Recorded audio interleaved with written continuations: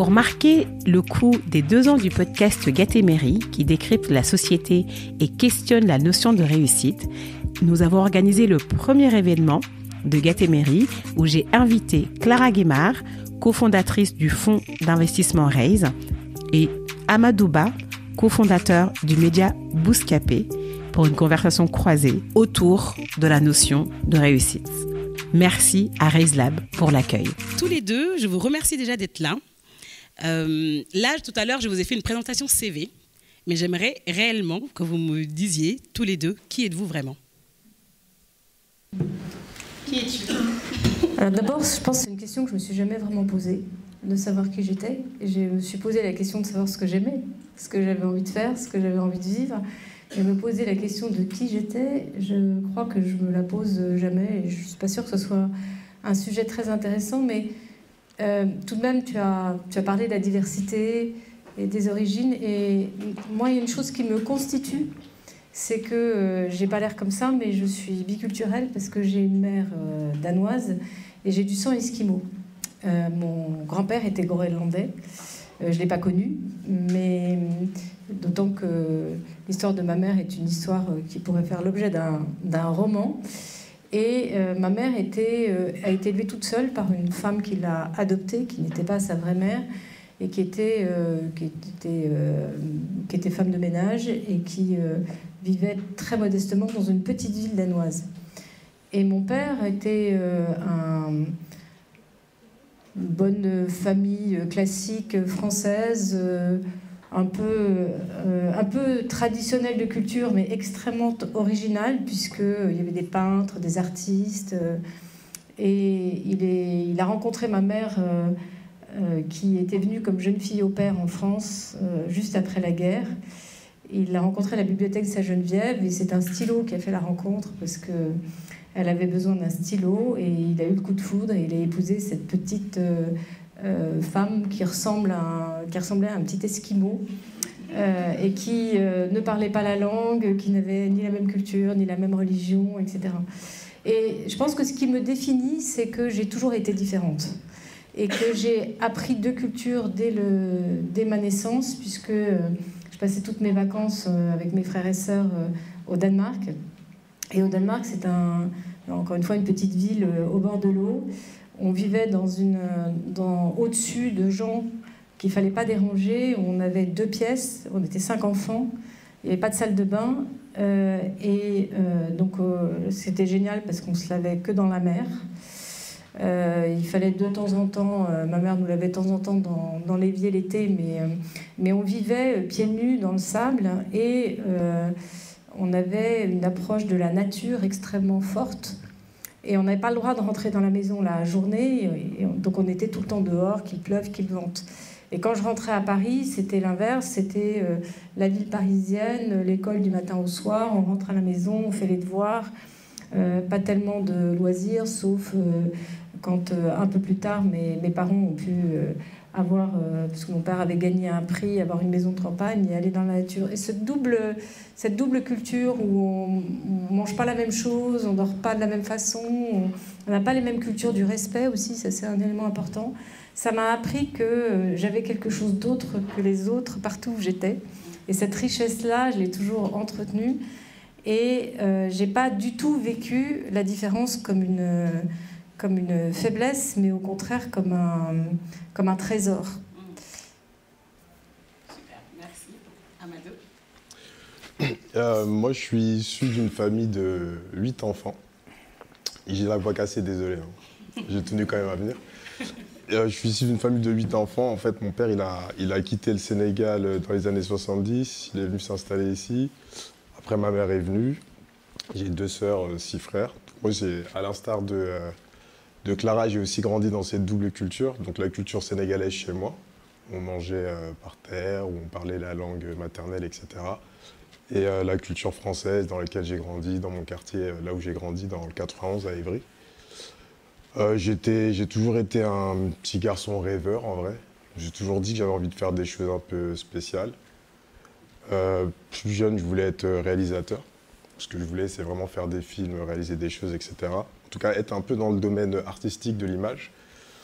Bon, j'y suis pas trop mal arrivé. J'ai monté un média aujourd'hui qui existe depuis 16 ans. Donc je l'ai monté avec mes deux acolytes en 2005. L'idée de base, c'était d'allier nos deux passions, qui étaient le rap, dans lequel on avait baigné depuis qu'on était petit, et l'image, donc la vidéo. Et en fait, d'aller dans les quartiers de ces rappeurs-là, qui n'avaient pas forcément d'exposition dans les grands médias, et en gros de, les filmer dans leur intimité, d'apporter des images un peu inédites. D'où le nom de Bouscapé. Bouscapé qui est un personnage d'un film brésilien de Fernando Meirelles, La Cité de Dieu, où en gros tu avais ce, jeune qui habitait dans un quartier, qui, était photographe et qui en fait qui était le seul qui avait accès à cette zone un peu de non-droit dans les favelas, qui prenait les photos en gros dans ces favelas-là, qui bossait dans un journal local et en gros qui les, qui les apportait. C'était un peu ça le, parallèle. C'était une aventure, euh, bah, quand on a débuté, nous c'était vraiment un truc de potes. On n'avait pas forcément euh, d'objectif euh, business derrière ça. Et de fil en aiguille, on a, on a, vu qu'on pouvait en faire un business. Et puis aujourd'hui, ça fait 16 ans que ça dure et c'est plutôt cool. On a commencé à 3. Aujourd'hui, j'ai 23 salariés. Voilà.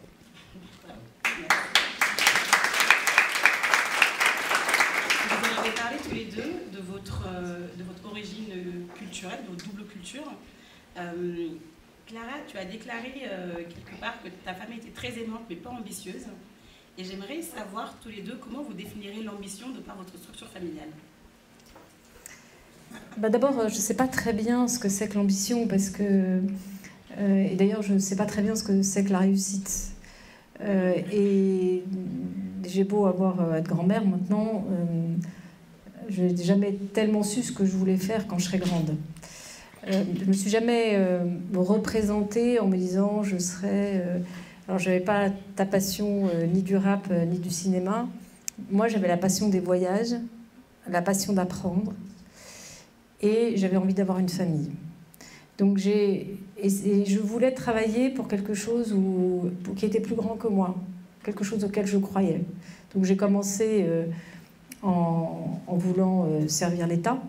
C'est pour ça que j'ai fait euh, Sciences Po et puis, et puis l'ENA. Enfin, l'ENA, j'aurais jamais eu l'idée si on ne m'avait pas dit de le faire.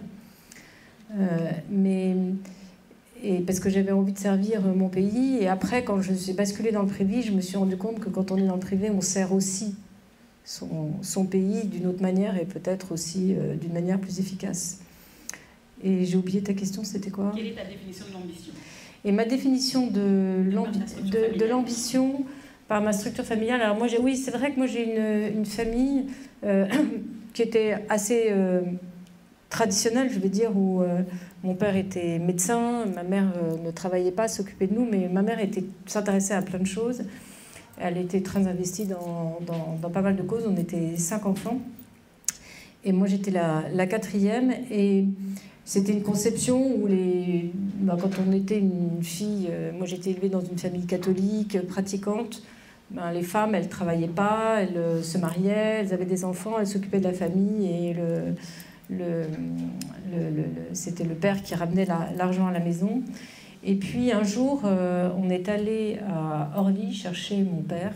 À l'époque, à Orly, il y avait cette plateforme, c'était pas sécurisé comme maintenant, où on pouvait aller voir euh, sur une barrière, on pouvait aller voir euh, les avions arriver et les gens descendre de l'avion. Je ne sais pas si vous avez vu euh, ce film extraordinaire qui s'appelle Un homme qui me plaît, où il y a avec Jean-Paul Belmondo et Annie Girardot, et elle vient attendre l'homme qu'elle aime sur ce, sur ce, la scène est magnifique, c'est un numéro d'acteur, d'actrice absolument extraordinaire, parce qu'on comprend rien qu'à son visage, qu'en fait il viendra pas. Mais moi j'ai la chance d'aller chercher mon père, et mon père est descendu de l'avion. Et euh, il revenait de voyage et moi je me disais, j'ai pas du tout envie d'avoir la vie de maman. Euh, j'adore ma mère, mais j'ai pas envie d'avoir rendez-vous euh, uniquement parce que du repassage et du linge, j'en ai fait et je continue à en faire beaucoup quand on a neuf enfants. Les machines ça tourne. Mais j'avais envie de, j'avais envie d'autre chose. J'avais envie, j'avais envie d'ailleurs. Et d'ailleurs, à tel point que je voulais être un garçon, parce que je pensais que c'était quand on était un garçon qu'on pouvait, qu'on pouvait faire ça. Et quand j'ai commencé, quand j'ai voulu passer Sciences Po, euh, mes parents m'ont évidemment laissé faire, mais ils étaient très très étonnés. Et euh, quand euh, j'ai passé l'ENA, mon père m'a fait cette phrase incroyable. Il m'a dit, mais ma fille, quand j'ai voulu passer le concours, il m'a dit, mais ma fille, que vas-tu faire chez les loups? Pour lui, c'était. Euh, il avait peur pour moi, quoi. En fait, il avait peur que je me fasse euh, manger toute crue par euh, ce monde du pouvoir, par ce monde de, justement de cette ambition dont tu parles. Mmh. intéressant.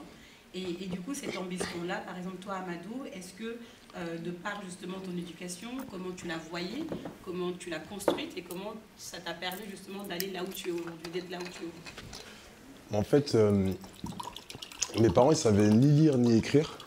Donc euh, même euh, quand il fallait remplir euh, des documents administratifs, etc., ils ne savaient pas faire. C'était ma grande sœur qui faisait à chaque fois. Et puis après, quand elle, a quitté la maison, c'est celui d'après, etc., qui le faisait. Et du coup, je crois que mon père, il avait, mon père est décédé en 2016. Et il avait un peu ce complexe, je crois, de ne pas avoir pu étudier, de ne pas avoir appris.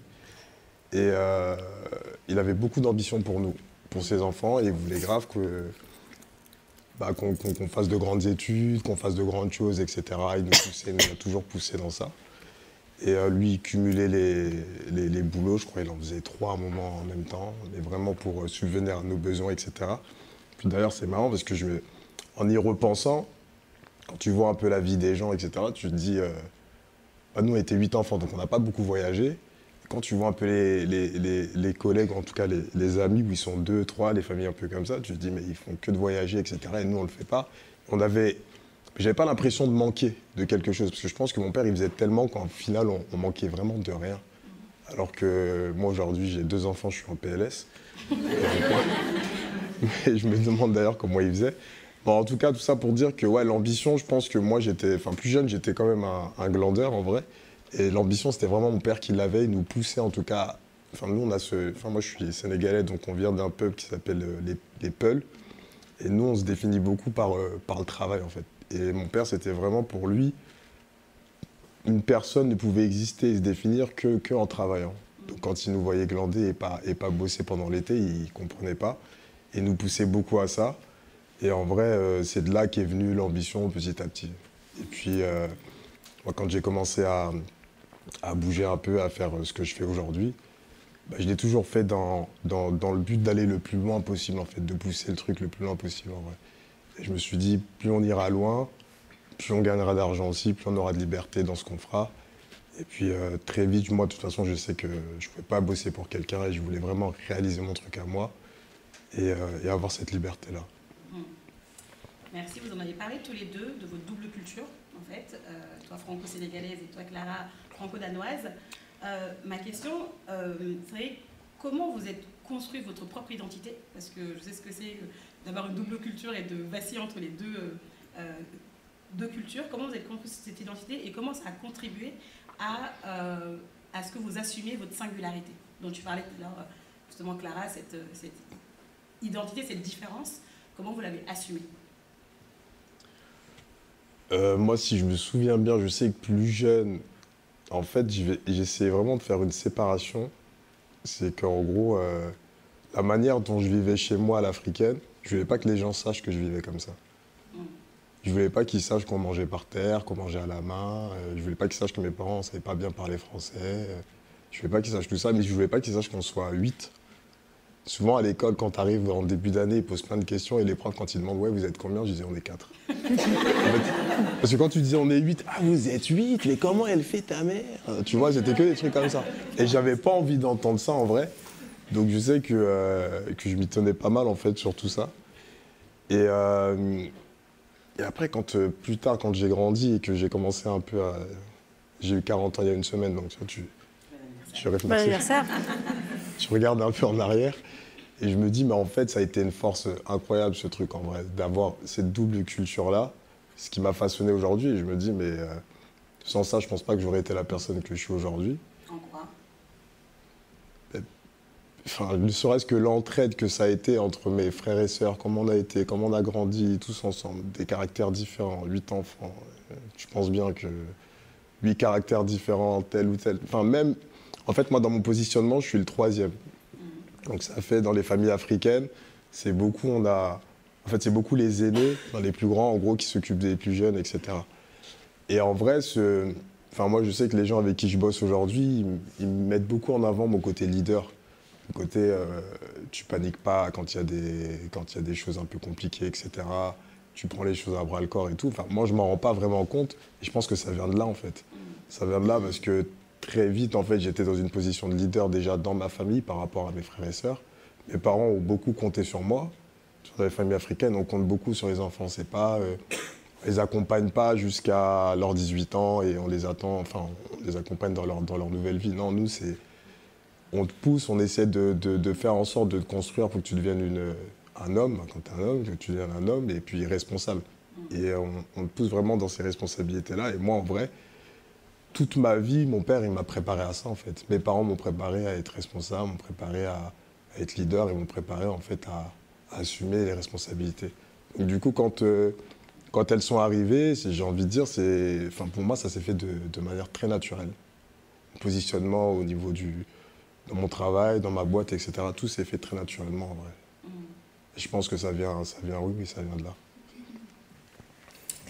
Moi, ce que j'ai oublié de dire, c'est que j'étais, je suis née dans une famille de cinq enfants, mais mes frères et sœurs, ils sont tous très bruns, aux yeux noirs, aux yeux bridés, enfin, ils ressemblent à des esquimaux. Et moi, je suis arrivée, j'étais une petite blonde, euh, aux yeux bleus, et ma mère disait, toujours que quand elle m'a vue, enfin, quand, elle quand je suis née, si elle m'avait pas vue sortir, elle n'aurait pas pensé que j'étais sa fille. Et donc, j'étais aussi différente dans ma famille, et euh, mes, mes frères et sœurs étaient très sportifs. Euh, très euh, le temps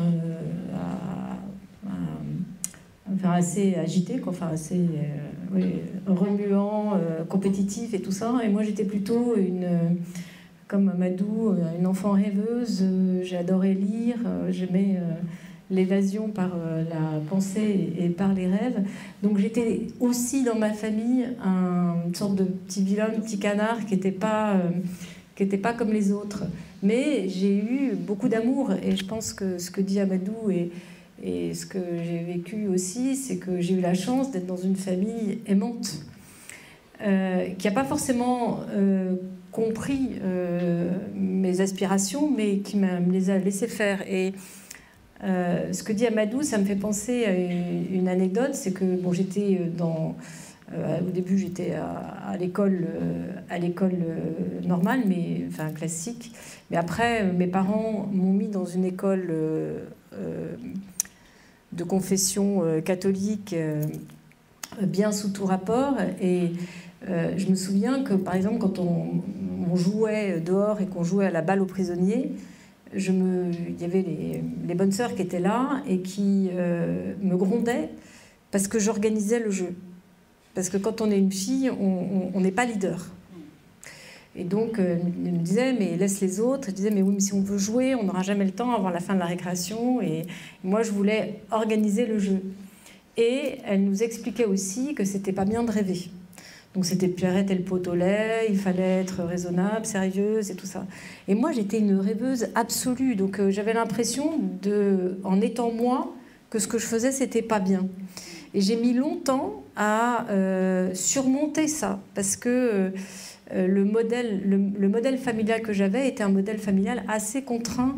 Euh, vous savez, dans l'Évangile, femmes, soyez soumises à vos maris, enfin, tout, ce contexte-là où finalement on, on, doit répondre à un modèle que à la fois, et, encore une fois, j'ai eu une famille très aimante, hein, c'est pas du tout, euh, ça n'a rien à voir avec l'amour, mais c'est plutôt une vision de la société où chacun a sa place, et que si tu te rêves à une place qui n'est pas celle qui t'est attribuée, euh, ce, que tu, ce, que, euh, ce rêve est, mauvais.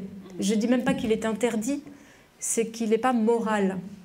Et donc, moi, j'ai dû surmonter, dans une, surmonter ça euh, ça peut paraître étonnant parce que je suis, euh, bien sûr, j'ai mon âge, mais je suis née dans une époque euh, de libération sexuelle, de la pilule, de tout ça. Mais chez nous, c'était le mal absolu, quoi. C'était, c'était, c'était, comment dire, oui, c'était, des des, des, personnes qui étaient qui, allaient souffrir enfin bon bref enfin bon voilà je... Et, donc, euh, et donc, il a fallu que je, franchisse ça. comment tu l'as fait justement ce, Je pense que aussi Amadou, peut-être que tu te retrouves aussi dans ça, le, carcan qu'on a dans la société, le carcan euh, familial aussi, culturel. Euh, quand vous transgressez ça, comment vous le faites? Alors, et, j'insiste là-dessus parce que je pense que ça, on a tous des c'est Delphine de Vigan qui a ce, bouquin, ce, livre magnifique où elle parle des, des légitimités et des, des, liens familiaux ils sont extrêmement précieux et ils sont en même temps des prisons. Mais toutes les familles, hein, c'est pas euh, toutes les familles. Euh, et il faut savoir euh, aimer de tout son cœur les gens qui vous ont donné la vie, qui vous ont et les comprendre et en même temps pouvoir ne pas être d'accord avec eux. Et c'est d'ailleurs pour ça qu'après j'ai écrit un livre avec ma fille Bérénice qui s'appelle Faut qu'on parle et qui est un livre euh, qui euh, évoque toute la question du rapport du travail, au travail, le rapport à la famille, euh, à la sexualité, à la consommation et tout ça, parce que justement, on est, on est deux générations un peu miroirs. Moi, je suis née de mai 68 et elle, elle, est la, génération qu'on appelait à l'époque millénium, elle a, elle a 30 ans aujourd'hui, et on n'a pas les mêmes valeurs. Et ce qu'on voulait mettre en avant avec, avec, avec Bérénice, et on a évidemment un peu caricaturé nos deux positions, c'est qu'on pouvait s'aimer profondément et débattre et ne pas être d'accord. Et la chance que j'ai eue, c'est que j'ai eu euh, mon père, pour le coup, qui avait des, convictions euh, assez fortes. Il aimait qu'on ait notre propre opinion. Je me souviens qu'un jour, ma sœur, euh, qui a trois ans de plus que moi, rentrait de l'école et elle disait Robespierre, c'est un homme extraordinaire. Euh, et, mon père lui a dit, écoute, je ne suis pas tout à fait de ton avis, mais je suis heureux que tu te forges tes convictions. Puis 15 jours après, quand elle a appris qu'il avait euh, tué quand même pas mal de monde, elle a un peu nuancé son propos, mais il, nous, a, laissé cette liberté euh, de, penser, même si lui pensait différemment. Mais, c'est vrai que ça, ça, a été un il faut d'abord avoir les, avoir les yeux ouverts et comprendre que euh, l'univers dans lequel on vit est un univers qui est beaucoup plus étriqué que ce qu'on croit. Et ça, Amadou, tu, as aussi ce sentiment-là Tu l'as eu dans ta, dans ta structure familiale ou pas du tout? Moi, mes parents ne comprenaient pas trop. Euh, ils ont, ma mère, elle ne comprend toujours pas vraiment ce que je fais. Elle sait que ça marche. Mais euh, non, je sais que mon père, quand je lui ai dit que je me lançais dans, cette aventure-là, il, ne captait pas trop parce que lui est sur des choses beaucoup plus terre à terre. Enfin, lui, euh, vu qu'il enfin, il a réussi grâce à ses mains, c'est-à-dire qu'il faisait que des trucs euh, d'ouvriers ou alors il faisait des ménages dans des, centres commerciaux, ce genre de choses. Donc quand je lui ai dit que j'allais monter un média, travailler dans la vidéo, etc., c'est des choses qui lui parlaient pas du tout. Après, on avait un rapport où Bon, lui, il s'inquiétait beaucoup parce qu'il avait besoin d'avoir quelque chose de concret, mais je lui disais en gros, laisse-moi faire. C'était un peu un défi, quoi. Laisse-moi un an ou deux, je me mets dessus à fond. Et de toute façon, si ça ne fonctionne pas, tu sais que je suis pas feignant et je retournerai dans un truc un peu plus euh, concret pour toi, mais euh, fais-moi confiance, laisse-moi faire le truc, etc. Et c'est la chance que j'ai eue, c'est que mes parents, même si ils avaient pas, ils savaient ni lire ni écrire et qu'ils n'avaient pas euh, cette ouverture sur le monde que d'autres pouvaient avoir, etc ils nous ont toujours fait confiance et nous ont toujours poussé dans ce qu'on voulait faire, que ce soit moi ou mes frères et sœurs. Donc du coup, j'ai eu la chance quand même d'avoir des parents très aimants, parce qu'en plus dans les familles africaines, on ne montre pas beaucoup ça. en vrai, les parents, ils sont pas, ils montrent pas, ils ont beaucoup de pudeur. Mais euh, moi avec mon père, on se disait qu'on s'aimait. Enfin, il n'y avait pas de, pas de tabou sur ça en vrai. Je pense que c'est des choses qui m'ont, construit, qui m'ont aidé à me construire aussi. Puis je le, redonne aussi à, mes enfants. On se dit je t'aime 100 fois par jour. voilà, tu vois, c'est des choses en fait, euh, je pense, qui inconsciemment m'ont aidé à me construire et m'ont donné beaucoup de confiance en moi dans tout ce que j'ai fait. Du coup, euh, même s'ils ne comprenaient pas tout ce que je faisais, bah, en vrai, ils m'ont toujours poussé. Et puis euh, ça s'est fait assez naturellement. Et, voilà. Super. tout à l'heure, vous disiez justement, enfin, Clara parlait justement de trouver sa voie. toi, Amadou, tu l'as trouvé assez tôt. Clara, tu l'as trouvé assez tard. Euh, je ne sais même pas si tu l'as encore trouvé, je ne sais pas, tu vas nous dire. Euh, j'aimerais savoir comment vous l'avez vécu, ça, de trouver sa voie tôt ou pas. Et quelle est votre vision sur cette injonction qu'on a aujourd'hui de trouver sa voie rapidement Qu'est-ce que vous en pensez? Alors, euh, je ne dirais pas que j'ai pas trouvé ma voie. Enfin, j'ai, pas, j'ai pas cherché à m'incarner dans un métier. C'est plutôt ça. Euh, je pense que j'ai tracé ma voie et tracé mon chemin là où j'étais. Et j'ai voulu, à chaque étape, j'ai essayé d'abord de, travailler avec des gens que je respectais sur un thème ou sur un sujet qui, dont je pensais qu'il était utile au monde. Et j'ai toujours essayé de travailler pour quelque chose qui était plus grand que moi, même si je ne le comprenais pas. Je n'avais pas forcément besoin de maîtriser tout. Et au fond, si j'y réfléchis, euh, ma voix, j'adore l'inconnu. Euh, c'est des gens qui euh, aiment que tout soit balisé, construit. Alors moi, je m'entoure de gens comme ça, hein, des juristes extrêmement précis qui sont les, créent les fondations et tout ça parce que mais moi j'aime j'aime j'aime un peu le, saut dans l'inconnu c'est aussi une des raisons pour lesquelles j'ai pas préparé ce podcast avec toi parce que si je prépare quelque chose, après, d'abord, je ne vais pas me souvenir de ce que j'ai préparé. Et puis, quand je vais voir la salle, je vais me dire, mais c'est pas du tout ça qu'il faudrait dire. Et, euh, euh, j'aime, j'aime, en fait, tu as parlé de la liberté. Et euh, pour moi, cette liberté de pouvoir créer l'instant à chaque instant, en étant là. Et, et, moi, ce qui était important dans ma vie, c'est d'être toujours. J'ai pas réussi à le faire tout, le temps, euh, bien loin de là, mais d'être présente à ce que je fais, d'être présente aux personnes avec qui je suis et d'être à l'écoute, euh, pas essayer de caser ce que je pense, mais d'être à l'écoute de ce qu'ils ont à dire, de ce qu'ils peuvent m'apporter. Et, la vie, elle est beaucoup, beaucoup plus euh, créative que ce qu'on imagine. Il y a plein de choses que j'ai désirées, je ne les ai pas eues, mais la vie m'a apporté bien, bien plus. Par exemple, j'ai rencontré euh, Gonzague euh, un jour à un déjeuner et euh, c'est cette rencontre qui a fait qu'on a créé Raise, qui est aujourd'hui un, fonds d'investissement qui a grandi très vite. Aujourd'hui, on a démarré à deux, aujourd'hui on est 80, on a, on un presque 2 milliards sous gestion. On, a une fondation qui est la plus grosse fondation privée pour l'entrepreneuriat avec 60 millions. Enfin, on a grandi extrêmement vite parce que on avait tous les deux chevillé au corps cette conviction qu'on pouvait faire la finance autrement, que quand on était généreux, c'était un moteur économique, et on est parti du principe un peu complètement fou, que personne d'autre n'a fait, qui était de donner 50% de ce qu'on gagnait à une fondation. Donc, euh, euh, moi, à l'époque, j'étais euh, chez General Electric, j'avais un poste à la fois passionnant et très bien payé. Je pouvais continuer pendant jusqu'à la retraite. Mais en fait, j'avais euh, passé dix ans formidables. moi, j'avais envie d'être dans le futur. Comme dirait l'autre, euh, j'aime tellement le futur que je vais y passer le reste de ma vie. Et le futur, c'est les entrepreneurs comme Amadou. Et j'avais envie de vivre au contact de ces jeunes entrepreneurs, de pouvoir les accompagner, de pouvoir les aider.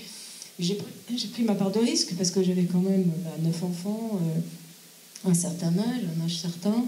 Et on ne s'est pas payé pendant deux ans, on a monté l'immeuble Ikea, on, a essayé de louer un endroit. Enfin, on a redémarré de zéro à, plus de 50 ans chacun, euh, en se disant que, bah, que ça en valait la peine.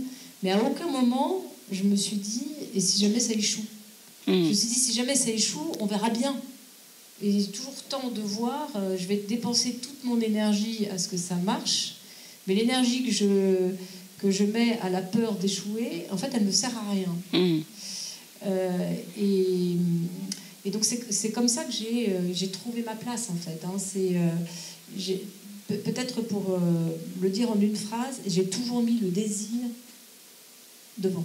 Mm. Le désir, l'envie.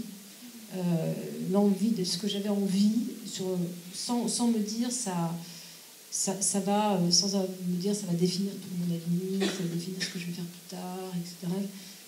La vie, elle est tellement longue, elle change tellement, il peut se passer tellement de choses, et puis tout ce qu'on a construit peut s'écrouler demain. Donc, euh, mais euh, rester dans ce, dans ce désir, ça a toujours été ma façon, ma façon d'avancer, en tout cas. C'est pour, pour, rebondir sur ce que disait Clara par rapport au fait justement de, de se lancer sans avoir tout défini de voilà de ne pas avoir tout balisé.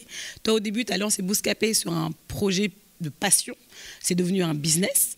Comment tout ça s'est fait et quels ont été les facteurs clés de réussite pour que ça réussisse justement? Euh, bah, donc, ouais, comme je disais, on a eu déjà beaucoup de chance. Parce que nous, quand on est arrivé, on s'est lancé sur Internet et Internet venait juste de commencer à exploser. Quand on arrivait en 2005, il me semble, YouTube n'existait pas encore. On arrivait un petit peu avant. Et euh, bah déjà, je pense que nous, on a grandi dans cette culture-là.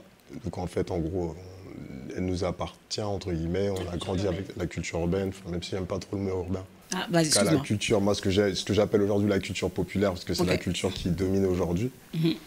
Euh, et en fait, en gros, c'est vraiment, il y avait zéro calcul, nous, quand on a commencé. C'était vraiment la passion, on comptait pas nos heures. On était là à rentrer à 4 heures du matin, à faire des montages, etc. Et surtout, l'idée, c'était de se dire, il faut toucher un peu à tout. Comme euh, ce que dit euh, Clara, ça, fait sens pour moi parce que, en gros, je sais que j'ai toujours voulu avoir plusieurs vies. Je me suis dit, j'ai pas envie de faire la même chose, moi, toute ma vie, être planqué à la mairie, ce genre de choses. Après, il y a des gens, ça leur plaît, tant mieux. En tout cas, j'ai toujours eu envie d'avoir plusieurs vies, de me renouveler.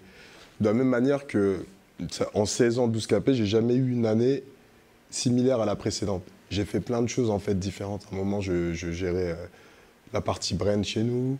Moi, j'étais rédac, chef, j'ai fait du montage, j'ai fait de la vidéo. En fait, à chaque fois, c'est se réinventer à chaque fois et faire des choses différentes. Parce que je, je me dis que si, enfin, rester à faire toujours la même chose, je sais qu'à un moment donné, je vais je vais pas y arriver. En fait, c'est pas dans mon ADN. J'ai besoin de faire des choses différentes et de, de, me réinventer. Et comment on a réussi à passer un step, c'est aussi les rencontres. On a rencontré plein de gens sur notre parcours. Je sais que moi, j'aime bien dire à chaque fois qu'on n'arrive à rien seul. Et euh, nous, il y a énormément de gens qui nous ont tendu la main sur plein de sujets différents, que ça a été des conseils ou plein de choses qui nous ont aidés, euh, juste parce qu'ils aimaient ce qu'on faisait ou juste parce qu'on avait accroché, qu'il y avait un feeling, etc. Et euh, c'est tout ça, en fait, qui nous a permis d'être là encore aujourd'hui. Beaucoup, beaucoup, beaucoup d'aide de, gens extérieurs, etc., qui étaient touchés par le projet et qui croyaient en nous et qui croyaient en ce qu'on faisait. Quoi. Et je pense que ça, ouais, ça a été c'était des choses clés dans notre réussite. Hmm. Hyper intéressant. Je vais vous poser une question particulière chacun. Je vais commencer par Clara. Euh, donc tu l'as dit, enfin tu, on le sait, tu as une carrière euh, très impressionnante et euh, tout en élevant neuf enfants. Je, me dois de, de, poser la question au nom de toutes les femmes et tous les hommes dans cette salle. Concrètement, comment tu as fait? Si je savais. D'abord, je pense que je ne me suis pas posé la question. Et c'est quand même un élément de la réponse. Euh, parce que quand tu commences à te poser la question, la montagne, elle est, euh, elle est juste pas possible. Et je me suis surtout pas posé la question de savoir si j'en étais capable. Et souvent, je dis ça parce que je vois souvent des, euh, plus des jeunes femmes que des jeunes hommes d'ailleurs, parce que normalement les hommes devraient se poser la question de façon équivalente, hein, qui me disent mais comment on fait euh, pour élever des enfants, faire une carrière, etc. Bon, d'abord, moi, j'ai pas, j'ai pas pensé ma carrière. J'ai fait encore une fois ce que, ce que j'aimais. J'ai pas mal changé, hein, parce que j'ai quand même été 25 ans dans l'administration. Après, j'étais ambassadeur délégué aux investissements internationaux. Après, j'ai dirigé un grand groupe américain. Et puis là, maintenant, on a, avec Gonzague, euh, ce fonds, euh, ce fonds Raise qui disrupte un peu la finance et, et, qui marche bien. Mais, mais vous savez, quand vous rentrez à la maison après le travail et que vous avez euh, votre fils qui vous saute au cou et qui vous dit euh, Maman, viens t'asseoir sur le canapé que je t'aime, ça, ça défatigue de tout. Alors il vient vous montrer son cahier d'école. Euh, et puis le matin, quand vous. Ça m'est arrivé des matins où j'étais. Moi, il se trouve que j'ai été quand même assez illogique avec moi-même parce que j'ai eu des grossesses où au début j'avais très très très mal au cœur. Je perdais 4 kilos au début de chaque grossesse parce que je ne gardais rien. Et donc j'étais, euh, je voyais tout en jaune, le monde en jaune, tout était sinistre. Vous savez, je ne sais pas si vous avez le mal de mer, mais euh, c'était un peu ça tout le temps. Et à chaque fois, je me disais, mais jamais je recommencerai. Mais j'ai quand même recommencé huit fois. Euh, et on en a adopté une. Mais comme dirait l'autre, l'appétit vient en mangeant. Et, et je sais pas, j'étais tellement émerveillée par par euh, les enfants. Euh, ils m'ont tellement donné. Et puis quand je les vois aujourd'hui, c'est neuf adultes absolument magnifiques, comme le dit Amadou, totalement différents les uns des autres, absolument surprenants. Euh, mon aîné qui était une petite fille un peu petite fille modèle, qui voulait toujours être bien habillée. La deuxième qui était complètement éparvalisée, toujours les cheveux en bataille et tout ça. ben, c'est des adultes qui sont. L'aîné est beaucoup plus rebelle d'une certaine manière que la deuxième. Enfin bon, bref, je ne vais pas vous faire la litanie de mes merveilleux enfants, même si je les adore et que je les trouve absolument merveilleux. Et puis j'ai eu euh, cette chance euh, d'avoir euh, effectivement des enfants très différents et d'avoir bah, quelques-uns quand même qui réussissaient pas mal à l'école, mais des cancres. Mais des cancres absolus. des... Ah ben, je peux les nommer parce que j'en suis extrêmement fière. Il y en a un qui est entrepreneur, euh, l'autre qui euh, fait euh, bah, justement des documentaires. Enfin, ils ont, sont des adultes qui ont très bien réussi, mais je me suis rendu compte que l'école était absolument pas faite pour toutes les formes d'intelligence. Et, ça, ça m'a. Enfin, ça, ça, je dis moi, mais parce qu'en en fait, je parle que de moi, mais mon mari aussi, hein, parce qu'on est deux quand même. On a été deux à, à, à les élever et à et elle est désirée, elle est vouloir, et elle euh, être émerveillée par eux.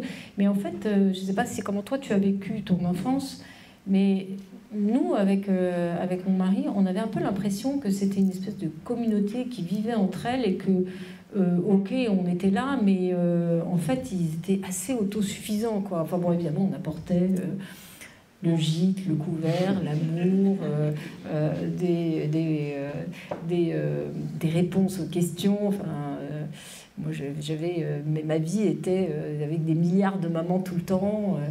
Euh, et, mais mais qu'il y avait cette communauté qui, sont, et qui est toujours le cas maintenant adulte, où euh, en fait ils, vivent entre eux, ils ont leurs solutions entre eux. Il y a plein de choses qu'on découvre à l'âge adulte qui nous racontent que heureusement qu'on n'a qu'on n'a pas su. Et c'est pour ça que c'est plus facile d'élever une famille nombreuse qu'on ne le croit parce que euh, on n'a pas à dédier la même attention que quand on n'en a qu'un, que quand on en a deux, qui sont en plus de ça, quelquefois avec des âges un peu distants, etc. Parce qu'il n'y a pas que la relation parent-enfant, il y a cette communauté qui est extrêmement vivante, qui en plus de ça invite plein de copains à la maison. Donc, euh, donc euh, voilà, d'une certaine manière, je ne vais pas dire qu'ils s'autosuffisent, c'est pas ça que je veux dire, hein, mais ça rend très humble sur le rôle de parent. Et puis, comme tu le disais toi aussi, Amadou, euh, ils sont tellement différents. Pourtant, tu leur as tous donné a priori euh, la même éducation que tu te rends compte que le rôle de parent, il est quand même assez limité. Euh, juste beaucoup d'amour, de faire le moins de maladresse possible, de leur donner évidemment de l'eau, du soleil, de l'ombre, de, quoi, de quoi nourrir la plante. Mais la plante, elle existe dès la naissance et ce qui est marrant, c'est quand on regarde les photos de eux petits, mais ils étaient déjà en germe ce qu'ils sont devenus adultes. C'est-à-dire que ils, sont, euh, ils ont dès le, tout leur potentiel dès le départ. Et soit tu essaies de le contrarier en, vouloir soit, en voulant qu'il soit ça, soit tu les laisses faire. Et, au fond, le rôle de parent, c'est d'être là tout le temps. D'être, euh, d'être comment dire, d'être, de savoir que moi, j'ai toujours dit à mes enfants, euh, nous vous aimons de façon inconditionnelle. Quoi que vous fassiez, on sera toujours là. Ça ne veut pas dire qu'on approuvera, mais on sera toujours là. Puis on en a qui ont fait des, conneries, des grosses conneries. Donc euh, voilà, je suis quand même allée quelques fois au commissariat, enfin des choses comme ça. Bah ouais, avec neuf enfants, on va au commissariat. Il n'y a pas de famille, euh, alors on n'est pas pas des familles normalement constituées, ou alors ils sont mis euh, en prison euh, avec des menottes. Hein, donc, mais, cette, diversité, enfin cette, diversité de, talents et tout ça, ça vous rend très humble sur le rôle de parent. Je pense que si je peux passer un message, c'est que mm, on se met beaucoup, beaucoup, beaucoup de pression en tant que parent. Et je pense que quand j'entends le témoignage de tes parents, euh, ils ont juste essayé de vous apporter euh, bah, de l'amour euh, à manger, enfin ce qu'ils ont pu. Mais ils vous ont donné, et tu as dit, on manqua de rien. Moi non plus, j'ai pas voyagé quand j'étais enfant, j'ai manqué de rien. Mais j'ai eu cet amour qui était, cet amour inconditionnel où je savais que quoi que je fasse, j'aurais un refuge. Hmm. Et tu l'as vécu comme ça, Amadou, du coup, tu es de l'autre côté, tu es le côté enfant. Euh, ce dont elle parle, Clara, cette communauté? Ouais, clairement. Clairement, sur moi, je sais que mes parents étaient très concentrés sur le petit dernier à chaque fois. Après, nous, en plus, on est très, euh, comment dire, on est très rapprochés. Mm. C'est 77, 81, 82, 84. Enfin, c'est quasiment un par an. Du coup, nous, on fonctionnait beaucoup par binôme. Mais, euh, mais comme disait Clara, c'est vrai qu'on s'autosuffisait un peu à nous-mêmes, on s'autogérait. Et c'est la chance qu'elle avait, enfin, qu'elle avait, ma mère. Elle avait tous ces enfants-là, mais en fait, en tout cas, on, l'aidait dans tout. Il y avait un truc tout con, c'est que chaque semaine, il y en avait un, c'était, il était corvé de vaisselle, corvé de poubelle, corvé de tout ça. En fait, chacun avait sa semaine à chaque fois. Donc quand tu le faisais une fois, bon bah, t'attendais huit semaines avant de le refaire.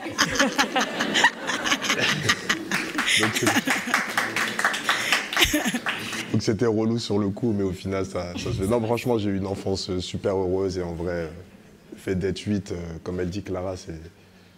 Enfin, avec le recul, tu te dis c'est incroyable comment ils ont fait, mais en vrai, c'est- on s'autogérait, enfin, on vivait comme une petite communauté, comme elle dit, et c'est exactement ça. Mm. Euh, tout à l'heure, Clara, justement, elle parlait euh, de ces différents types d'intelligence. Euh, toi, Amadou, tu n'as pas fait d'école de commerce, d'école de business, on va dire. Aujourd'hui, tu gères un business et tu baignes quand même dans le monde artistique. Et j'aimerais savoir, est-ce que le fait de baigner dans ce monde artistique a influencé ta manière d'appréhender le business, justement? Euh, pour moi, c'est oui. Après, c'est deux choses différentes, oui, c'est vrai. Mais euh, oui, parce que en fait, pour nous, ce qui est le plus important, c'est euh, c'est garder notre authenticité dans tout ce qu'on fait. Donc, c'est important pour nous de, de- dans toutes les choses qu'on peut proposer à notre public, qu'on qu'on ressent notre authenticité, notre expertise et notre savoir-faire. Moi, je suis fan de réalisateurs comme euh, David Fincher et autres, parce que, en fait, quand tu vois leur film, quand tu vois un film de Fincher, tu sais tout de suite que c'est lui, il y a sa marque, il y a son truc. Et nous, on est très attachés à ça chez Bouscapé. Et comme tu disais en préambule, euh, là, on vient d'avoir un directeur commercial qui est arrivé il y a deux mois, mais avant ça, on n'en avait jamais eu. Et en fait, tous les deals qu'on a pu avoir avec toutes les marques que tu as citées, les Apple, les Netflix et compagnie, c'est que des deals en trans et nous, on n'a jamais démarché personne. Sont venus nous voir par rapport à notre réputation, par rapport à notre savoir-faire, par rapport à ce qu'on représente, etc. Et pour moi, nous, ça, ça nous met dans une position de force déjà par rapport aux marques. C'est-à-dire que quand tu as un brief aujourd'hui qui arrive d'une marque importante, bah, nous, on avait eu un, deal avec euh, une marque de biscuits, je crois. Ils avaient montré un peu leur campagne, à quoi ça devait ressembler, etc. Ils voulaient qu'on fasse une amplification derrière avec un contenu qu'on allait créer. On a trouvé leur, euh, leur truc euh, pas ouf. Donc en vrai, on leur a fait savoir. Et nous, c'était soit on le fait dans la direction dans laquelle nous on veut, parce que c'est nous qui maîtrisons ces codes-là et c'est notre culture, et si vous venez nous voir, c'est pour ça, ou sinon on le fait pas. Et c'était un budget assez important, au final on l'a fait, mais c'est un peu ça notre truc, c'est que aujourd'hui, euh, oui, on est là aussi pour faire de l'argent, parce que c'est ce qui nous permet de vivre, c'est ce qui, ce qui, ce qui permet à la boîte de- de tourner, on le fait pas à n'importe quel prix. C'est-à-dire qu'il faut vraiment qu'on... C'est l'ADN du média qui passe avant tout. Si jamais on arrive à, à garder ce truc-là, ok, on peut se poser autour de la table et après par les chiffres, etc. Ça veut dire que oui, euh, dans la manière d'appréhender le business, nous, on n'est pas en mode euh, l'argent à tout prix, si c'est important encore une fois. On est vraiment dans le truc de est-ce que le contenu qu'on va faire, même si c'est un contenu brandé euh, par une marque, etc., est-ce qu'il nous ressemble? Est-ce qu'on l'aurait fait sans la marque Oui, non. Si jamais, si jamais oui, eh ben on le fait. Sinon, ben on le fait pas. Et ça, c'est super important et c'est ce qui guide un peu euh, tout ce qu'on fait depuis le départ et je suis un peu le garant de tout ça. Ça, c'est important en tout cas. Mm, L'authenticité. Euh, alors, Amado, euh, j'ai lu quelque part, je ne sais plus où par contre, il dit qu'il faut arrêter de s'extasier quand un mec de banlieue réussit. Et euh, Clara, tu as dit, j'ai enlevé deux mots de mon vocabulaire, c'est le mot de victime et le mot de coupable. Euh, J'aimerais savoir tous les deux comment vous faites face aux critiques, parce que je pense que vous en avez eu, ou bien voilà, et euh, comment vous arrivez à vous détacher du regard de l'autre. Tu veux commencer? Je commence ou je commence? Ne vous battez pas. Bah, moi, je veux bien commencer. Moi, je veux bien commencer parce que euh, il se trouve que euh, moi, je l'ai vécu euh, très jeune euh, avec mon père qui était un, grand, un généticien. Il a découvert la cause de la trisomie 21, un grand chrétien, comme je, l'ai dit déjà, et qui euh, euh, avait une consultation de, de 5000 patients qui étaient des enfants qui étaient des des trisomiques 21 pour la plupart, enfin des gens, des enfants qui avaient un handicap mental.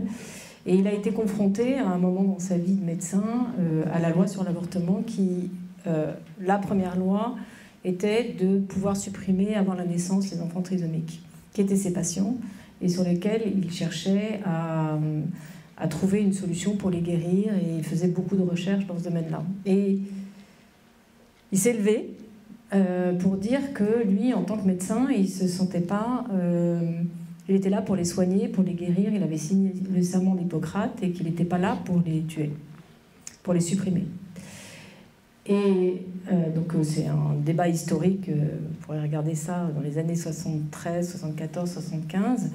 Et je me souviens qu'un jour, on était, moi j'avais 12 ans, 13 ans, on va en vélo à l'école, parce que mon père nous permettait euh, d'aller à l'école à vélo déjà. Donc, je dois être une des plus anciennes cyclistes de Paris, puisque ça fait presque 50 ans que je fais du vélo dans Paris euh, pour aller à l'école. Et euh, sur les murs de, de, la faculté, il y avait marqué Il faut tuer le jeune et ses petits monstres.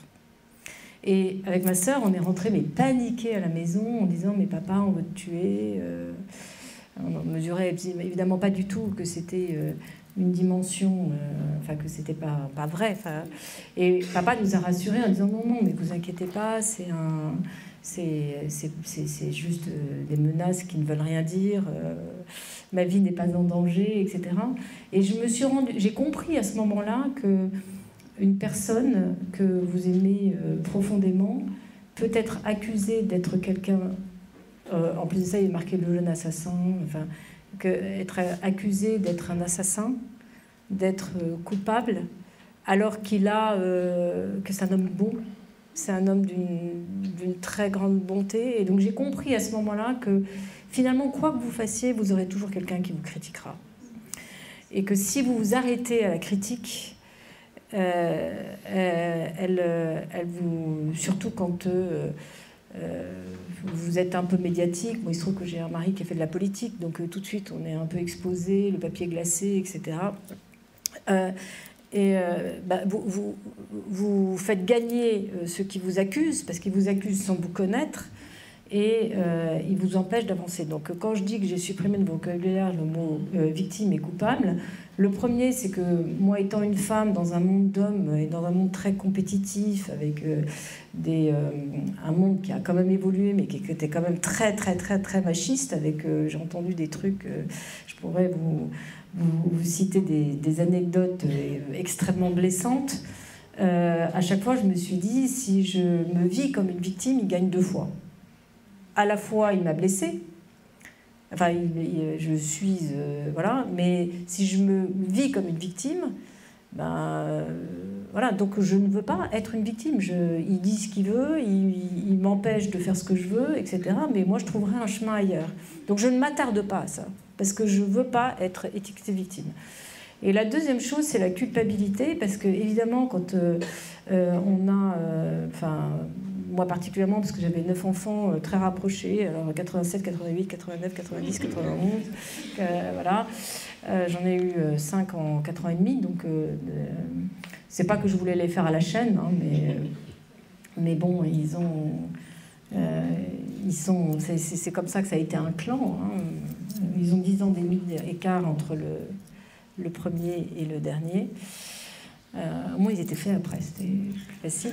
Euh, mais euh, évidemment, vous n'êtes pas une mère parfaite.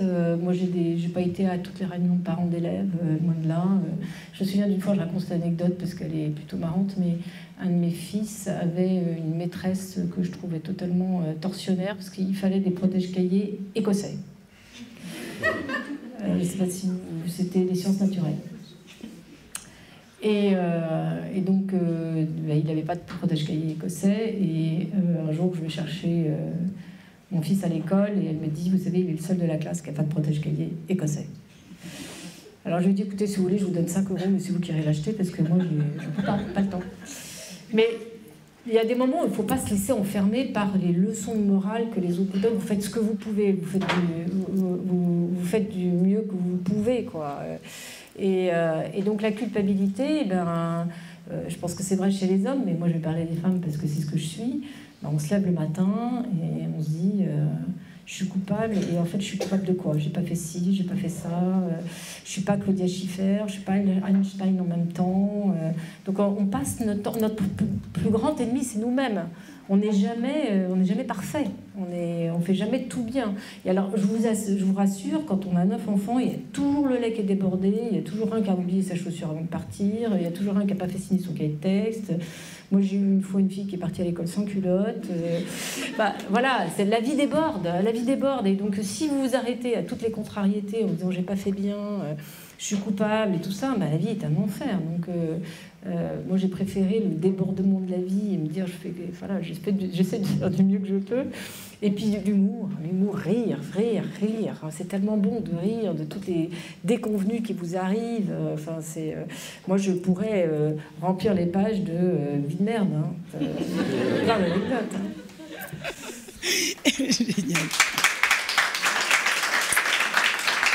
Euh, Clara, tu as parlé justement des, bah, des, critiques sur les femmes. Il y a aussi euh, Amadou, justement, tu disais qu'il euh, faut arrêter de s'extasier quand un mec de banlieue réussit. Bon, parfois, on les cumule. Hein. Moi, je suis noire et femme, donc c'est un peu compliqué. Mais justement, qu'est-ce que tu entendais par là et, comment tu fais justement pour dépasser ces critiques et, et avancer, tout simplement? Parce que je me dis que, bon, allez, avant c'était assez incroyable quand tu voyais quelqu'un qui venait de banlieue et qui avait réussi, etc. Aujourd'hui, il y en a plein des exemples en fait de réussite. en fait, ce que je trouve dommage entre guillemets, c'est, euh, enfin moi j'ai déjà fait des, interventions dans des médias ou autres, mais souvent je suis présenté comme le mec qui vient du 91 d'Evry, etc. et qui a réussi. Parce qu'en plus il vient de banlieue, mais alors, pour moi c'est un plus déjà, c'est une force. Et en plus de ça, je pense que c'est pas, je trouve que c'est réducteur, tu vois. Et aujourd'hui, c'est, j'ai réussi. Ok, mais tu n'es pas obligé de me rattacher au fait que je vienne de, banlieue ou quoi que ce soit. En fait, des exemples de réussite, tu en as plein déjà en banlieue. Déjà, c'est même plus un truc euh, rare. Et je pense qu'aujourd'hui, même pour quelqu'un qui vient de province, c'est encore plus difficile de réussir que qu'une personne qui vient de banlieue. Donc en vrai, c'est plus cette, cette, étiquette un peu qui me gênait. Et euh, comme si, en fait, euh, j'ai l'impression d'être une bête de foire un peu. le truc, c'est ça tourne autour de ça. Tu vois, j'ai déjà fait des interviews dans des médias autres que, que, ceux qui sont dans ma sphère. Et souvent, ils me ramenaient à ce truc-là. Mais j'ai 40 ans aujourd'hui, ça fait longtemps que, tu vois. Euh, oui, d'accord, je suis un jeune de banlieue. Enfin, j'ai grandi euh, dans une banlieue, etc. C'est moi, c'est ce qui m'a fait, c'est ce qui m'a construit, c'est ce qui fait que je suis là aujourd'hui. Mais c'est pas le débat, quoi, en vrai. C'est plus ça, en fait, qui me dérangeait. C'est ce truc de toujours te ramener à ça. intéressant.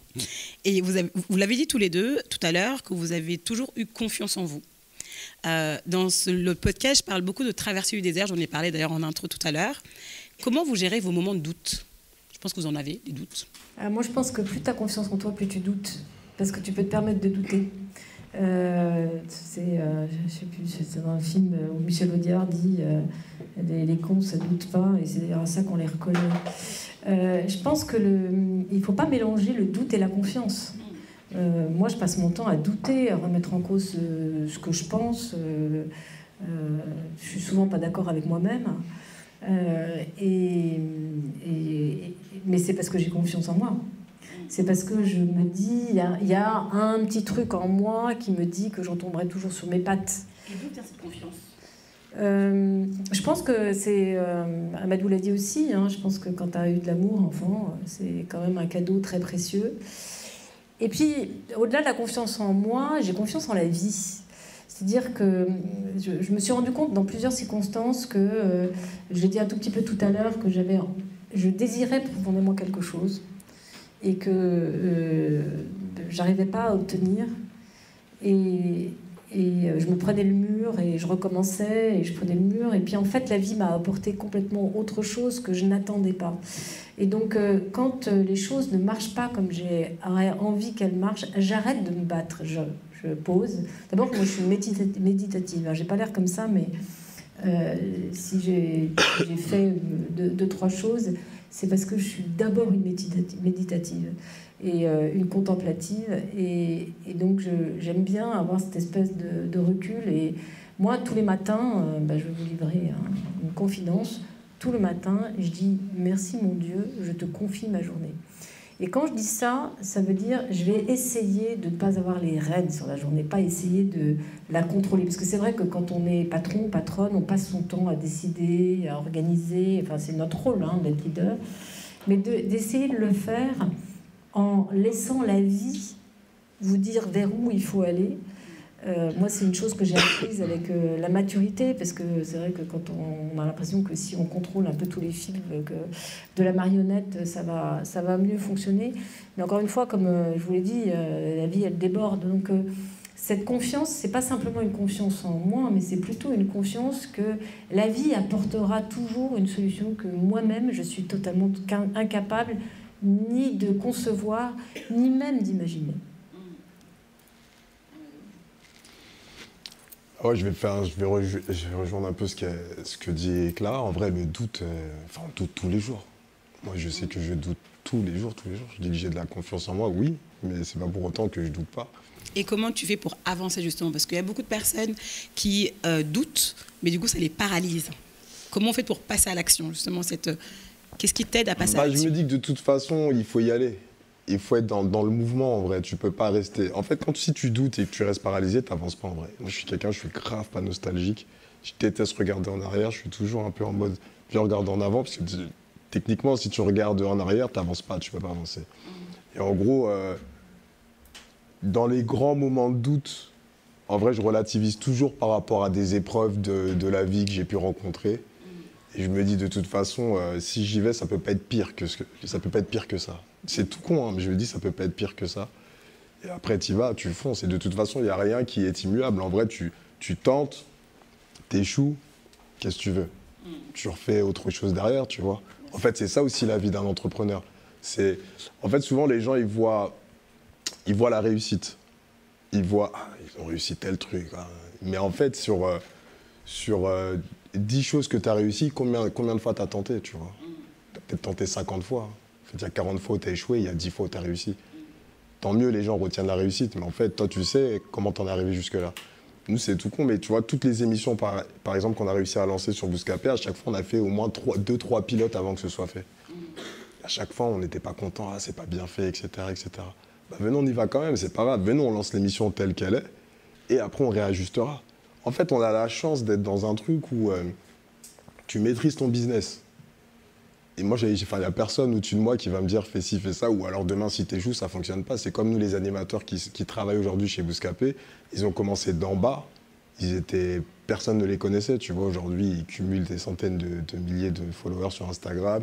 Toutes les marques euh, leur font les yeux doux. Mais quand ils ont commencé, quand ils regardent leurs premières vidéos, c'était naze, en vrai.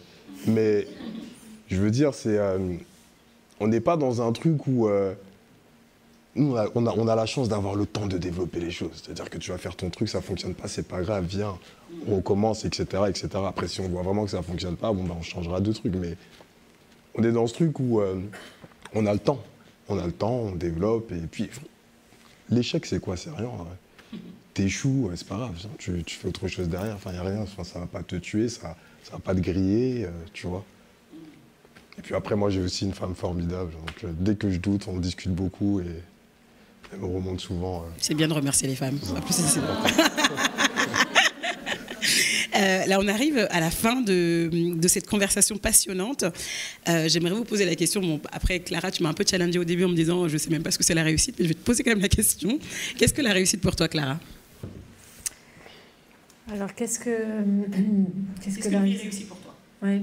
Je vais, je, vais, je vais pas répondre par une pirouette, mais ça me fait penser à euh, je vais apparaître, donner le sentiment d'être une antiquité absolue, mais je vous rassure, euh, je ne l'ai pas entendu euh, à l'époque. J'aime beaucoup écouter les podcasts et, notamment certains podcasts un peu historiques. Mais je ne sais pas si certains d'entre vous savent qui était Jacques Chancel. Jacques Chancel était un journaliste extraordinaire, un intervieweur euh, assez exceptionnel et qui interrogeait tous les jours des gens, mais dans des milieux complètement différents. Il pouvait prendre euh, une, actrice de cinéma, un homme politique, euh, un musicien de musique classique. Enfin voilà, c'était toujours des, personnalités. Et il interviewe Jacques Brel. Vous connaissez Jacques Brel? Euh, il interviewe Jacques Brel. Et alors, il avait un art euh, assez consommé qui était au moment où il y avait le jingle de la fin, un peu comme tu fais maintenant, à poser la question où tu ne sais pas répondre. Euh, il y avait la petite musique de la fin et il posait la question extrêmement difficile. Et ça va rebondir sur ce que disait Amadou. et il demande à, Jacques Brel, avec sa voix comme ça, Jacques Brel, c'est quoi votre idéal? Et Jacques Brel répond, un seul mot, essayez. Et ça, ça pour moi, c'est ça la réussite. La réussite, c'est de. Euh, tu l'as très bien dit, Amadou, c'est. Euh, hmm, Churchill le dit, enfin, plein de, plein de gens qui ont été des personnages importants de l'histoire. La réussite, c'est tomber 20 fois et de se relever toujours. C'est toujours euh, cette espèce de, d'espérance, d'espoir et de se dire je recommence, j'essaye, j'essaye. Pour moi, c'est ça la, vraie définition de la réussite c'est pas euh, celui qui a gagné le plus, euh, personne n'emmène son argent dans un cimetière. D'ailleurs, on voit bien, on a des réussites qu'on déteste en fait, voir, regarder. Il y, a, des, réussites qui nous sortent par les yeux. On se dit, elles ne font pas envie. Hein, on les convoite pas. Et c'est sans doute parce qu'elles sont pas, euh, elles sont animées par euh, le désir de l'argent, le désir de la domination, le désir du pouvoir, le désir de d'être, euh, d'écraser les autres, etc. Enfin, je ne citerai pas de nom, mais vous en avez plein qui doivent venir en, visage. voilà. et donc, oui, rester toujours ce, cet, cet, enfant qui apprend et qui essaye. C'est ça la réussite pour moi. Merci beaucoup. Amadou.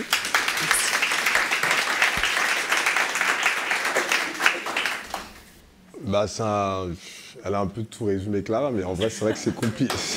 c'est compliqué, en gros, de, de, définir la réussite. En vrai, c'est, enfin, c'est une question de curseur, là où tu places ton truc, tu vois. Et aujourd'hui, tu le places où? Aujourd'hui, moi, j'ai envie de dire que j'ai réussi, oui. Pourquoi? Parce que je suis libre dans ce que je fais. C'est la liberté, en vrai, pour moi, finalement, la réussite. C'est qu'en fait, c'est aussi parce que j'ai réussi à à, créer cette liberté dans mon, dans, mon monde professionnel que j'arrive aussi à avoir du temps pour ma famille, pour mes enfants, pour ma mère, etc. Tu vois. Donc en fait, la réussite, c'est ça. C'est avoir cette liberté qui te permet aussi de, concilier vie professionnelle et vie euh, privée aussi, tu vois. Et moi, c'est... Ouais, je pense que c'est la liberté en vrai. Ça me fait penser à la définition de, de Stéphane Diagana que j'ai sur le podcast, qui dit que la réussite, c'est euh, la capacité à augmenter ses degrés de liberté. Ouais, c'est clair. Donc voilà, c'est chaque palier euh, de liberté. Clairement. Merci beaucoup. Est-ce que vous avez un mot de la fin avant de passer aux questions? Euh, Un mot de la fin ou bien on passe directement aux questions Vous me dites, j'avoue qu'on traîne un peu, j'ai un peu traîné, c'est moi. Hein. une chose que vous voulez ajouter, quelque chose que vous voulez, un dernier conseil que vous voulez prodiguer? Conseil, je sais pas. Moi, moi je, voudrais, je voudrais te remercier D'abord parce que j'ai eu la chance de faire une magnifique rencontre en te rencontrant. Euh, euh, tu m'avais contacté pour euh, soi-disant te coacher. En fait, je ne sais pas qui, qui a coaché l'autre. C'était une rencontre magnifique. Et peut-être tout simplement dire que oui, c'est ça, la vie, c'est fait des rencontres. En fait, tout ce qui vous arrive de bien, c'est toujours par des rencontres. Tu l'as dit, Amadou, tu as réussi grâce aux gens qui t'ont accompagné, qui t'ont aidé. Euh, on, réussit euh, jamais seul, même si. Euh, et puis, peut-être ce que je dirais, c'est qu'il faut. c'est bien d'être humble, de recommencer, mais il faut avoir conscience de ses talents. On est tous uniques et on a tous un rôle et une place à jouer. Et on peut euh, se restreindre soi-même, être un quart de soi, un demi-soi, euh, mais la seule personne au monde qui peut être pleinement vous-même, c'est que vous. Donc euh, c'est ça la confiance en fait. Hein. C'est pas se dire en fait je suis très intelligente, je suis très belle, je suis très ceci, je suis très ça. Pas du tout. C'est pas ça.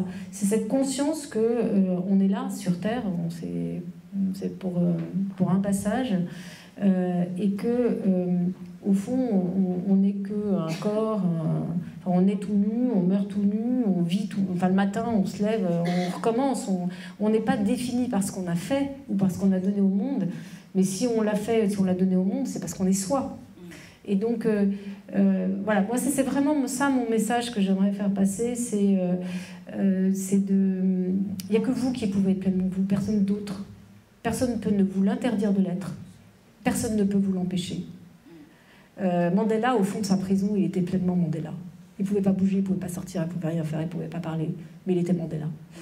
Donc, euh, euh, et quand il est sorti, le premier geste qu'il a fait, c'est de prendre un enfant blanc, dans ses bras. C'est, une symbolique extraordinaire. Donc voilà, c'est simplement ça. Ici, autant que vous êtes, vous, êtes un être extraordinaire et vous avez une aventure extraordinaire à tracer. Vous pouvez l'applaudir.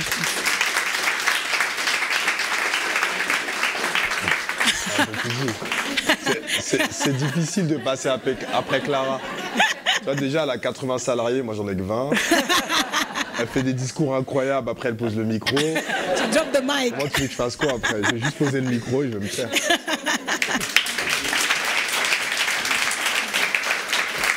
On va passer. On va passer aux questions. On va en prendre, je suis désolée, maximum trois. Parce que... Je suis Iris et j'aurai deux questions. Ma première question, quand vous avez un projet qui vous tient au cœur, combien de temps vous réfléchissez pour lancer?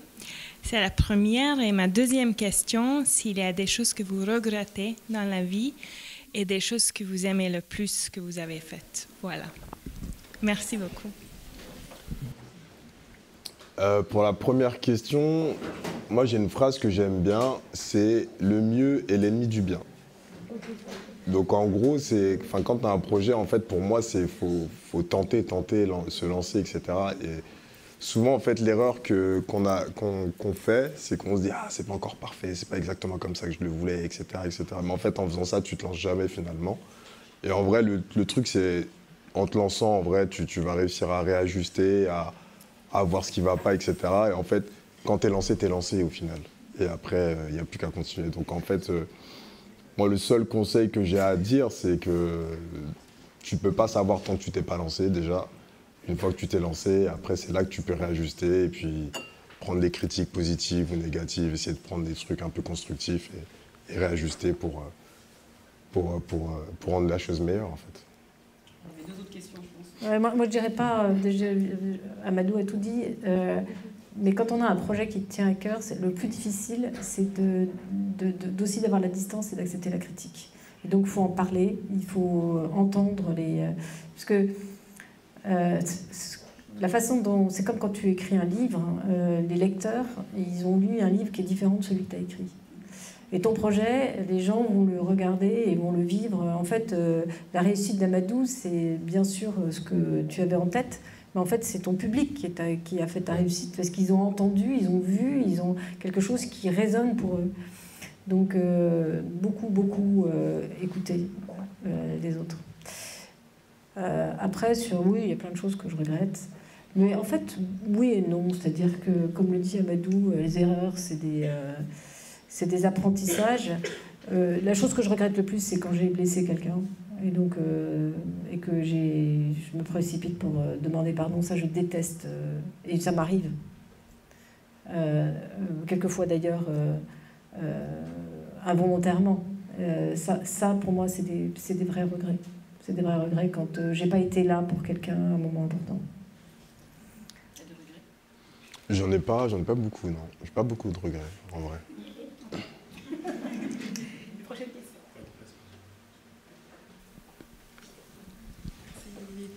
Bonsoir. Euh, déjà, merci beaucoup pour un échange vraiment euh, super enrichissant, inspirant. Euh, vraiment, vraiment, je, pense qu'on était beaucoup à être émus par vos, vos témoignages. moi, je voulais vous, vous avez parlé un peu des doutes, mais je voulais vous demander par rapport au syndrome de l'imposteur. Est-ce que c'est quelque chose que vous avez déjà vécu? Est-ce que c'est quelque chose que vous vivez? Et si oui, comment vous l'avez surmonté? Comment vous le surmontez? Alors moi, je suis totalement dans l'imposture. Pareil. J'ai toujours pensé que j'étais dans l'imposture. Je me disais si les gens étaient dans ma tête. Mais jamais ils me confieraient ces responsabilités-là. D'ailleurs, mes enfants me le rappellent. Hein, moi, quand j'étais patronne de GE, on avait, j'avais, euh, il y avait quand même 15 000 personnes en France. Euh, et les, enfants me disaient, mais comment, à la maison, ils me disaient, mais comment ils ont pu te confier ces responsabilités? Tu oublies tout, tu écorches les noms, tu n'as pas la mémoire. Enfin bon. Donc, euh, oui, moi, le syndrome de l'imposteur, c'est un moteur extraordinaire. Moi, c'est pareil, hein. tous les jours, je me lève en me disant, mais pourquoi ils me suivent en fait?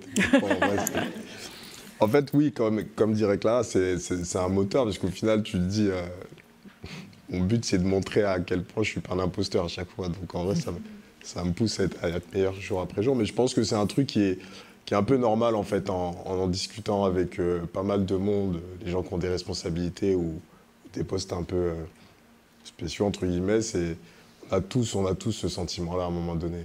Mais moi, je l'ai très souvent, mais ça m'a jamais freiné, en tout cas, ça m'a jamais paralysé. Au contraire, euh, je sais que je suis là où je dois être et euh, je n'ai pas de doute là-dessus. Et juste quel conseil, du coup, vous donnerez à ceux qui l'ont pour avancer Moi, j'aime bien les trucs je, je pense que c'est une grande chance d'avoir le sentiment d'imposteur. C'est une preuve d'intelligence aussi, enfin une preuve de, de, savoir se dire qu'on n'est pas capable de tout et qu'on a besoin des autres, qu'on a, il y a des choses qu'on qu'on ne sait pas faire. Euh, j'ai dit euh, une fois, ça a été repris d'ailleurs, que euh, la seule chose c'est qu'il ne faut pas se faut pas se laisser enfermer dans les choses qu'on n'aime pas faire. mais mais l'imposture, c'est parce qu'on a un rêve tellement grand en soi que forcément on n'est pas de la taille de ce rêve. Quand on est confortable dans ce qu'on fait, moi quand je recoue un bouton, j'ai pas le sentiment d'imposture ça va. Quand je fais une omelette, j'ai pas le sentiment d'imposture. Mais quand je rêve en grand, oui, bien sûr, je, suis forcément une, euh, dans l'imposture. Parce que ce que je rêve est, dix fois plus grand que moi. Donc, euh, donc quand vous êtes dans le sentiment d'imposture, c'est que là, vous êtes effectivement dans, euh, dans, votre rêve et dans, là où vous allez vous accomplir. C'est marrant parce que tu as commencé en disant, en parlant du sweet spot, en disant que le sweet spot, c'est ce que tu rêves de faire et ce que tu sais faire. Moi, je pense que le sweet spot, c'est ce que tu aimes faire et ce que tu sais pas encore faire. C'est vraiment ça, le sweet spot.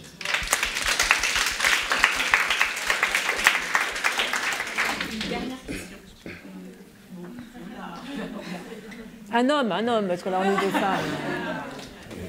Merci Claire. Euh, déjà, je voulais vous remercier euh, vraiment très chaleureusement pour, ce, pour, ce, pour cette discussion. Et euh, je voulais remercier Edgar pour nous avoir proposé ça. Et surtout, l'ami qui t'a dit que tu ne pouvais pas faire un simple podcast. Je pense qu'il a, eu, il a eu raison. J'avais une question, en fait, pour tous les deux mais que, en fait, je vais reprendre une chose que tu as dit, Amadou, dans le, dans le podcast du, du euh, Génération du Sud, où tu dis que euh, bah, tu parlais en fait des quotas. Et, euh, et, je pense que les quotas, effectivement, c'est plein, plein de sujets, mais c'est aussi, je pense, un sujet de se dire comment est-ce qu'on arrive en fait à atteindre un niveau où généralement on est, on est peu. En fait, tu parlais de la réussite des personnes de banlieue. Et en vrai, sur beaucoup de personnes qui réussissent qui viennent de banlieue, il y a beaucoup d'artistes, de sportifs, peu d'entrepreneurs et peu de personnes qui sont dans des gros, des grands postes. Et, euh, en plus, euh, en termes de, représentation, tu vas avoir encore moins de femmes euh, issues de banlieue. Donc, en fait, tous ces, toutes ces, tous ces critères, même en tant que femme, quand on monte dans des postes aussi, aussi élevés, est-ce qu'il n'y a pas un, voilà, ce sujet de se dire aussi, ben, on aimerait aussi se sentir représenté. Qu'est-ce qu'on fait quand on se sent un peu seul dans un, écosystème où on doit, entre guillemets, batailler? Je reprends un peu la pensée de votre père qui disait euh, Qu'est-ce que tu vas faire avec tous ces loups? Euh, Est-ce que des fois, on ne se dit pas c'est difficile d'être euh, avec des loups ou c'est difficile d'être tout seul, en fait, peu représenté, tout simplement? Moi, sur cette question des quotas, en fait, je trouve, en fait, de manière générale, euh, on vit dans une société euh, patriarcale où tout a été centré sur l'homme. Donc je pense que c'est important aujourd'hui de, d'avantager, les femmes et vraiment même de faire les forceurs sur plein de choses. Je pense que ça, c'est important. Et euh, moi, en fait, ce que, ce que je disais dans la réponse sur cette question-là, je me souviens bien, c'est que je disais qu'en gros, c'est parce que moi, c'est dans ma manière de, penser, en fait, comment j'ai grandi, comment, comment je pense. J'ai jamais été dans une, dans un truc de quota, de se dire ah, il faut plus de femmes, il faut plus de noirs, il faut plus de blancs, etc. J'ai vraiment toujours été dans, dans, dans l'esprit de c'est le talent en fait qui va faire la, la différence. Et euh, aujourd'hui, chez Buscapé, c'est vrai qu'on tend plus vers un truc où on aimerait que quand même il y ait autant de femmes que d'hommes, et aussi parce qu'en fait, c'est à l'image de notre, de notre audience, et pas parce qu'on on veut équilibrer ou quoi que ce soit. Tu vois, je crois que ça, ça c'est important. Et ce que je disais aussi, c'est que cette notion de quota, je pense qu'elle est importante pour équilibrer certaines choses, mais en même temps, je disais que moi j'ai ma fille, elle a deux ans et demi. J'aimerais pas que plus tard elle soit prise juste parce que c'est une femme en fait. J'aimerais quand même qu'elle soit prise de la même manière où tout à l'heure je parlais de euh, tout ce qui est euh, banlieue, etc. J'aimerais pas qu'on prenne aujourd'hui parce que je suis un noir. Tu vois, j'avais eu un, entretien en 2021 pour prendre la tête de la radio Move. Et en gros, quand j'ai fait l'entretien, je suis allé à l'entretien, je savais que j'allais pas aller au bout du truc. Mais dans la discussion que j'ai eue avec euh, le mec, bah, j'ai vite compris qu'en gros, c'était parce que j'étais noir et que je représentais un truc, en gros, qui voulait me prendre. J'ai trouvé ça dommage, en vrai. Au-delà de ma mm. couleur, au-delà de ce que je représente, euh, il y, a, mon travail, il y a tout ce que j'ai fait depuis 16 ans. Et en vrai, je trouvais ça dommage, en fait, de se dire, euh, bah, juste pour remplir des quotas, etc. C'est pour ça que moi, je suis pas très à l'aise avec ces histoires de quotas, parce que ça me... Je me dis toujours que quelque part, ça met le voile sur le talent. Et on le prend plus pour, euh, pour une raison qui finalement pour moi n'est pas, pas très juste. Quoi. Ah, moi, je n'ai pas, la, pas la même euh, position que toi, mais c'est aussi sans doute parce que je suis. Euh, j'ai, je me suis rendu compte en fait que quand il n'y a pas de quota, ça ne change pas. et je vais donner un exemple. Quand il y a eu la loi Copé-Zimmermann sur les conseils d'administration, je me souviens, j'étais dans un aéropage d'hommes où c'est d'une grande association, des grands dirigeants. Euh, et on était deux femmes, il y avait 40 hommes.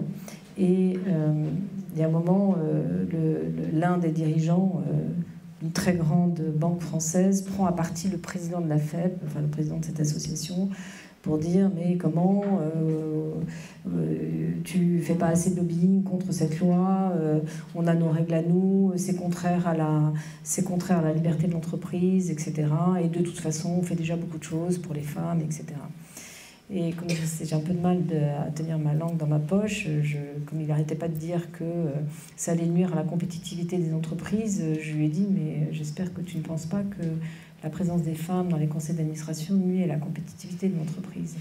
Je me suis fait insulter en disant que je ne comprenais rien à la vie de l'entreprise, que voilà, enfin c'était, mais vraiment euh, une critique extrêmement violente. Alors après, il s'est, rendu compte que c'était lui qui était un peu ridicule, mais qui, il est venu s'excuser. Et la réalité des, quotas euh, dans les conseils d'administration, ça a amené euh, trois choses. Bien sûr, la parité, et ça a amené euh, l'internationalisation, parce que les femmes, on ne les trouvait pas en France, donc on a pris des étrangères d'abord. Ensuite, euh, ça a conduit à une professionnalisation, parce qu'on a fait appel à des chasseurs de tête, et les chasseurs de tête, ils font leur métier, donc ils regardent comment est composé le conseil, en disant quelles compétences il faudrait, et ils sont allés chercher des femmes. Et ça a conduit à un rajeunissement des conseils et arrêter aussi l'espèce de copinage où tu es dans mon board, tu viens dans le mien, etc. Donc, euh, je pense quand même euh, que la loi Copé-Zimmermann, la loi Rixin, elles sont importantes. Euh, nous, quand on a créé Raise avec Gonzague, dans la finance, et notamment dans ce qu'on appelle le private equity, c'est-à-dire l'investissement privé dans les entreprises, il y avait 98% d'hommes. Il y avait quelques rares femmes. Et euh, quand on a démarré, bon, non seulement on a décidé de donner 50% de, de, de, de ce qu'on gagnait, mais j'ai dit à Gonzague, euh, ça sera à parité totale. Je ne peux pas être, avoir été la présidente, être la présidente du Women Forum et ne pas créer une entreprise à parité totale.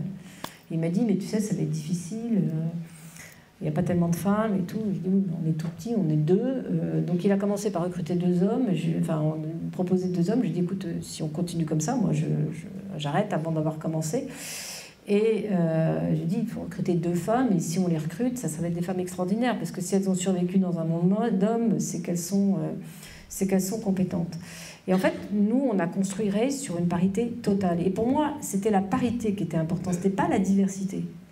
C'était euh, parce que la diversité, quand tu as, tu vois, quand Renault dit euh, c'est super, euh, j'ai 18% de femmes dans mon COMEX, si je sais compter, ça fait 82% d'hommes dans le COMEX. Bah, 82, mettez, mettez-vous face à 82 hommes et 18 femmes, ça fait, ça fait pas un équilibre, quoi. C'est pas agréable pour les femmes et l'inverse est et, la même chose. Et ce que ça, la conséquence que ça a eu, c'est que euh, aujourd'hui, plus personne. Ben, on est tellement. Euh, d'abord, on est à parité à tous les échelons et on gouverne en binôme. C'est-à-dire qu'il y a Gonzague et moi, mais il y a Mathieu et Alexandra, il y a. Euh, il y a Aiglé et Serge, voilà, et puis on est multiculturel, multi-religion, multi, enfin plus de 50%, enfin les gens viennent de province, viennent des îles, etc. Et, euh, le, fait d'avoir instauré, et, sans que ce soit négociable, la parité a permis en fait l'émergence de talents. Euh, de, talents. Il y a eu une ou deux fois tout au début, quand on, a démarré, où certains ont dit mais c'est dommage, on va arrêter à garder, on va rater un, homme, euh, enfin rater un homme, rater l'embauche d'un garçon formidable. Et, Gonzague et moi, on était intraitables en disant mais il y en a d'autres, il y en aura d'autres. Donc euh, non, si c'est une femme, parce qu'il faut la parité, on embauchera une femme, on mettra peut-être plus de temps, mais on la trouvera. Et maintenant, on n'a aucun mal, aucun mal. Donc euh, euh, je suis d'accord avec toi. moi, je sais que je suis rentrée dans quatre conseils à un moment où il fallait mettre des femmes dans les conseils. Mais après, je me suis dit, je vais exercer mon talent et je vais démontrer que je ne suis pas là par hasard. et donc, ce que, ce, que, ce, que, ce que je dirais en réponse à ça, et je pense que c'est un peu ça ce que vous voulez dire, c'est que c'est bien de dire qu'effectivement je veux être euh, reconnu pour mon talent. Mais si on ne te permet jamais de le montrer, ton talent, comment tu fais?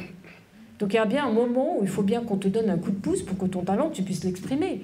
Si on te met dans un placard et que tu, parce que tu es noir ou parce que tu es une femme ou parce que tu, euh, sais pas, tu, tu, tu euh, d'un autre pays ou que, ou tu es migrant et que as pas, tu ne peux pas exprimer ton talent et que est affiché d'abord le fait que tu es noir, que tu es migrant, que tu es une femme et pas que tu puisses exprimer ton talent, bah ça, tu pourras jamais le faire. Donc euh, la plus grande liberté qu'on peut donner, peut donner une démocratie, c'est de permettre aux gens de devenir ce qu'ils sont. Moi, je voudrais euh, juste, euh, je ne veux pas être trop longue, mais citer un témoignage d'un homme que je trouve absolument bouleversant qui s'appelle François Cheng. Je ne sais pas si vous le connaissez, mais François Cheng, c'est un, monsieur tout frêle qui est non-ingénieur, comme il dit. Euh, et il est arrivé en France, il avait 19 ans, chinois, il ne parlait pas français. Il est tombé amoureux de la culture française et aujourd'hui il est membre de l'Académie française. Ça, pour moi, c'est la République que j'aime. C'est la France que j'aime. C'est cette France qui a pu. Euh, il n'a pas de diplôme, il n'a pas fait d'études, il n'est pas agrégé, il n'est rien du tout, mais simplement, euh, il a aimé la langue française, il a fait marier la culture chinoise et la culture française, et il a été reconnu parmi les plus grands intellectuels et les membres de l'Académie française. Il, il dit lui-même qu'il aurait été États-Unis, il aurait été écrasé, il n'aurait jamais pu survivre. En Chine, n'en parlons pas. Et c'est ça qu'il faut préserver. Et s'il faut passer par les quotas, bah, passons par les quotas. Merci beaucoup.